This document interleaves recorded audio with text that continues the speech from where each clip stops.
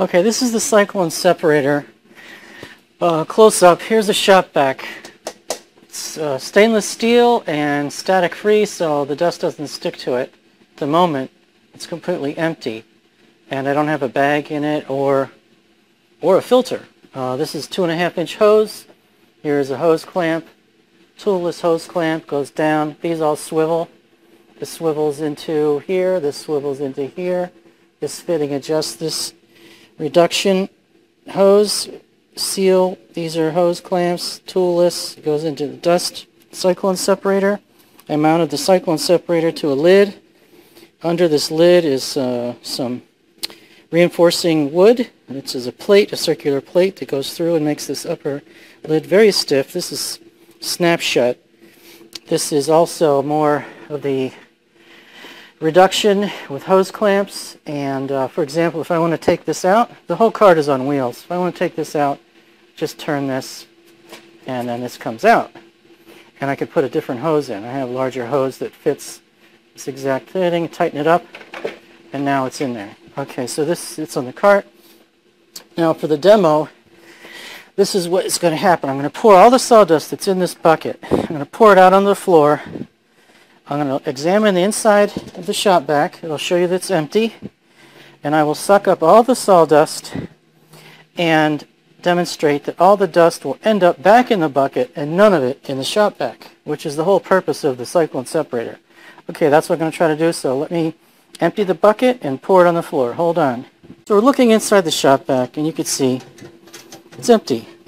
No sawdust in the shop vac and I emptied the bucket out. And I poured all the contents of the bucket onto the floor. Now I'm going to close up the shop vac, attach the lid so that it's on, and now I'm going to fire up the shop vac and suck up this dust, maybe try to get a picture of the cyclone action and separation process, degree of separation. So let's, let's do that. Turn it on. Shop vac is on and start sucking up the dust.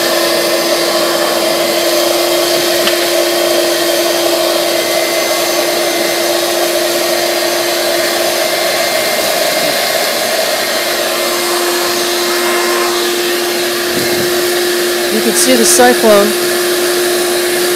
sucking up all this dust, making a real storm inside, real dust storm. And with this amount of dust all in one shot, you would think that it would overwhelm the system. And in doing so,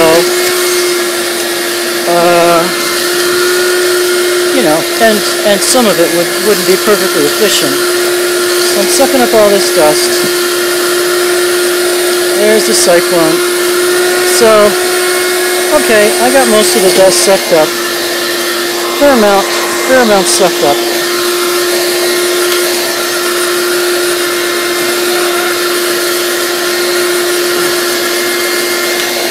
Okay, so let's take a look. Let's shut it off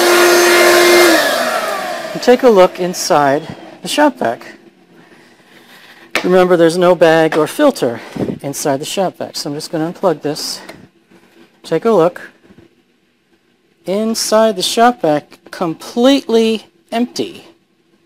That means none of the dust,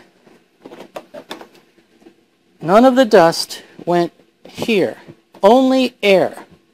The vacuum provides a suction. It sucks air. This device separates the dust from the air. So this is pure air going in here because none of the dust ended up here. All of the dust ended up in the bucket. And you could see on the floor, I didn't get it all, but you know, I could suck that up. And this is what's amazing about this thing is you can have a completely bag-free, filter-free shop vac. And this puppy right here takes care of the rest. So let me just get the rest of this. Uh, sucking up all kinds of dust, washers, everything. Just sucking up everything off the floor. So, got it all sucked up. Get some over here. And you can, so that's it. Turn it off. And so if we'll come to the other side, take a look at it. So I got a three and a half gallon bucket and a very section lid. Spent of, fair amount of work trying to get everything perfected, looking nice. And uh, the holes are perfectly aligned.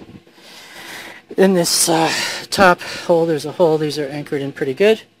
This whole thing swivels, so there's no uh, tension on it. And it's easy to take apart because I can just, these are like tuning strings on a guitar. You just turn these things and you can loose stuff, loosen stuff up. So it makes makes for very usability, and it's all in a cart with uh, with wheels. So you know you can. Here I'm going to make this into drawers. So I pull out and there'll be spare parts. But this uh, this system will accommodate this size hose, which is more appropriate for shop use.